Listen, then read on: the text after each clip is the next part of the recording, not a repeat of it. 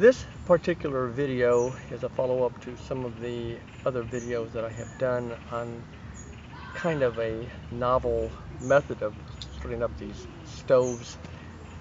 There are other videos on this that show this more detail. This is going to be a practical experiment. This is as if you were actually out in the woods and you were going to try to do something in, in order to have a meal or something. So I'm going through the exact same routine that I would do if I was actually out in the, out in the woods, including any mistakes that I make. This is the little chimney that I have been showing before. This is the Edelrid Hexon stove. I chose this one of the multiple stoves that I could choose for the demonstration because I thought that this would be one of the more difficult stoves that at least in the past has been for me to try to start. Uh, this is 1cc.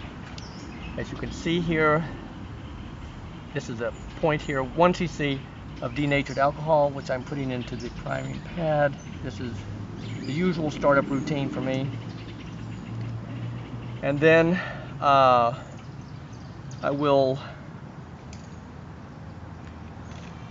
connect this syringe which has in it about five and a half cc's of Coleman fuel. I will now put an additional half cc of air which will be used to move this through this little adapter that is going to be going on the uh, connector here that you see, this little thing. This normally will connect to the fuel pump that you see there. This has got Coleman, uh, uh, kerosene in it. This is a Coleman fuel. So I'm going to go ahead and connect this adapter to this little thing. This is a prototype. That's why it looked a little on the crude side, but it does do the trick. And so what I'm going to do is uh, I'm going to open up the control valve. And for this particular um, this already open. For this particular uh, demonstration, unlike the last one that I had done, just showing this technique, I'm going to pre-fill the line. Now I know that this particular model takes about three and a half cc's, but I'm only going to put in about three cc's just so that I can expedite some of the startup routine.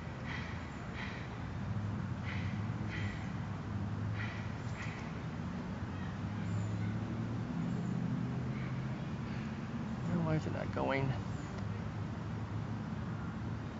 Oh, now it's open. Sorry. There we go. Doesn't like having all your I's dotted. Okay, that's about two and a half. This is about three cc's. Actually, some of it's starting to come out of the orifice, so I'm going to stop at that point. I've already got the um, the ethanol in there, so I'm going to go ahead and start up the ethanol. This is because it's got some fuel that's already in there that's spilled out. It's going to start uh, vaporizing very quickly. This is typical for this routine where I pre-fill the line. Now you'll notice that I don't have the fuel bottle hooked up to the uh, connector, and that's because this is going to be going through a startup routine that is again somewhat similar, uh, different from, well, it's going to be a lot different from most of the other routines that you see for starting up these little stoves. This syringe that you see here is going to be used to manually inject while the stove is running kerosene, uh, Coleman fuel, sorry, Coleman fuel into the line and it will cause this to now preheat. You can hear it already starting. Okay, you can start hearing it now already sizzling.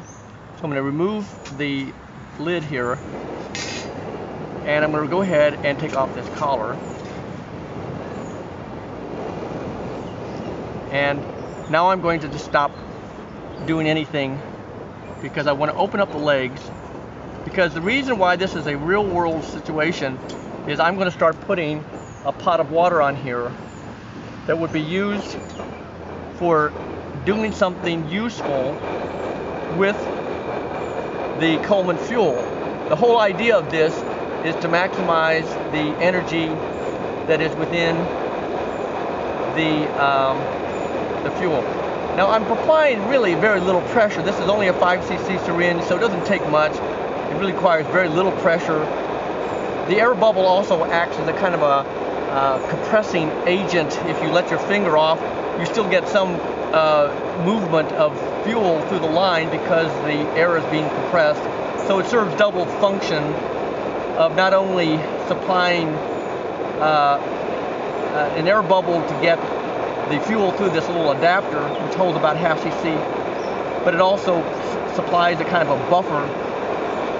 So I'm, again, just moving it, it doesn't take much force.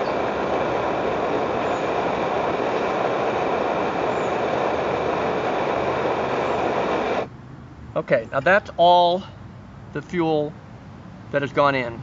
I will now, as you know, notice here the the stove turned off. That's one of the things that can happen, obviously, if you don't have fuel going through the burner. Sometimes it will continue to kind of percolate, other times it won't.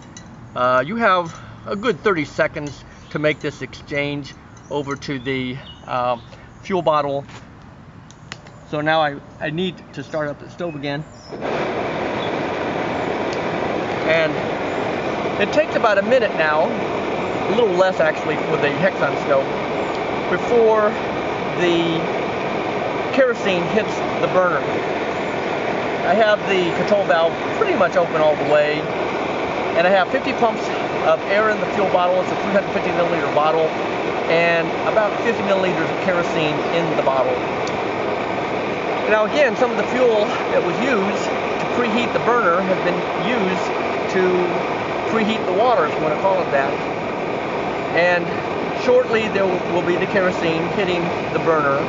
With this technique that I'm showing you, there really isn't much in terms of a transition. It just kind of automatically goes into a full burn with the kerosene. There's a slight difference in the appearance of the flame, but it's not very much. And uh, things go very well. The, the water is already beginning to start to boil, so what I'm going to do is I'm going to kind of anticipate it boiling for my shutdown routine where I want to conserve fuel as much as possible.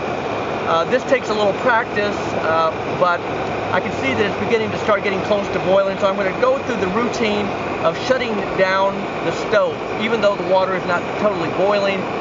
Uh, again, it takes about 50 seconds for the kerosene to run all the way through the line.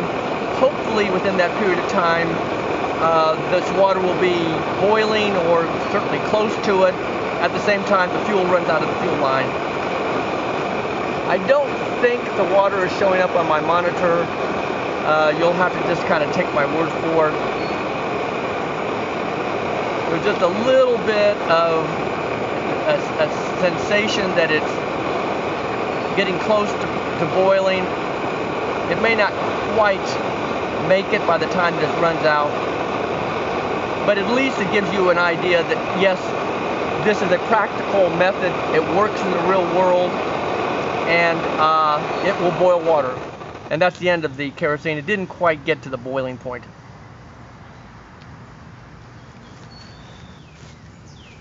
I have now tossed out the uh, water that was in uh, the pot because I want to show the bottom of the pot on one of the earlier videos that I had done, the transition phase uh, produced soot on the bottom of the pot, but I thought it was a, um, a minor inconvenience that I could put up with given the fact that I was using the fuel to heat up the water.